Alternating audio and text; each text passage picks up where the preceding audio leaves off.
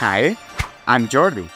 Fun to me means uh, let my imagination flow and also create um, some characters or environments to fit my stories.